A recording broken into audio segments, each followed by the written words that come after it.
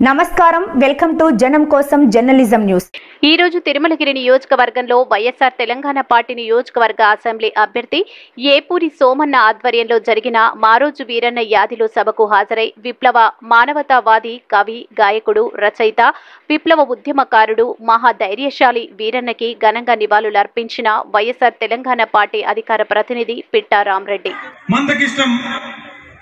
అన్నగారికి గద్దరన్న గారికి శ్రీనివాస్ గౌడన్న గారికి కాసిం సార్ గారికి గట్టు రామచంద్రరావు గారికి సత్యక్క గారికి వీరందరూ కూడా తెలంగాణ ఉద్యమంలో ఆట పాట మాట ఉద్యమ బాటలో ఎన్నో పోరాటాలు చేసి చేయడంతో కదా తెలంగాణ వచ్చింది.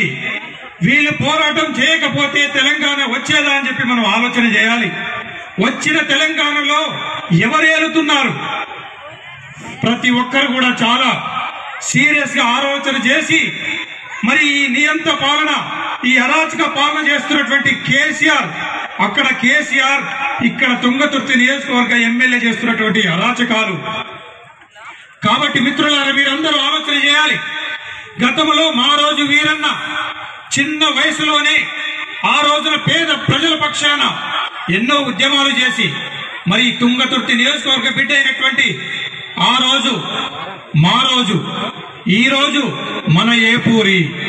ఇద్దరికి భావ సారూప్యత ఒకటే ఉన్నది. మిత్రులారా మీరందరూ ఆలోచన చేయాలి. తుంగతుర్తి నియోజకవర్గ బిడ్డగా ఇవాళ రాష్ట్రంలో ఏ మూలకెళ్ళినా కూడా ఏ పూరి సోమన్న పాటలు ఆటలు మాటలు ఉన్నాయి. ఇది గుర్తించే చట్ట సభల్లోకి ఆ రోజున మా రోజు వీరన్న స్ఫూర్తిగా ఆయన ఆశయ సాధన కోసం పనిచేస్తున్నటువంటి మన ఏపూరి సోమన్నను చట్ట సభల్లోకి పంపించాలని చెప్పి మన రాజశేఖర రెడ్డి గారి ముద్దుల బిడ్డ వైఎస్ఆర్ తెలంగాణ పార్టీ అధినేత్రి వైఎస్ షర్మిలమ్మ గారు తుంగతుర్తి నియోజకవర్గ ఎమ్మెల్యే అభ్యర్థిగా ప్రకటించడం అనేది ఆశామాషి కాదు. మీరందరూ ఆలోచన చేయాలి ఆశీర్వదించాలి. డబ్బుకి పేదవాడు కావచ్చు సోమన్న కానీ గుణవానికి గుణానికి పెద్దవాడు. ఏ కష్టం వచ్చినా ఏ బాధ వచ్చినా మీ కన్నీళ్ళను తోడవడానికి బాధలు వినడానికి సమస్యలను పాలు పంచుకోవడానికి అనునిత్యం మీ మధ్యనే ఉంటున్న సోమన్న మనం